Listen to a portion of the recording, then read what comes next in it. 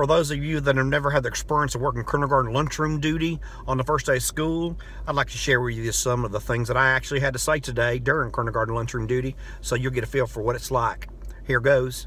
Get that out of your mouth. Get that out of your ear. Get that out of your nose. You better not have swallowed your tooth. Yes, I know I have a big belly. No, you cannot die from eating too many sweet peas. Why are you trying to drink two milks? Quit spinning in your seat. I don't have any butter in my pocket. No, those are not real diamond rings. Why is your shoe on your tray?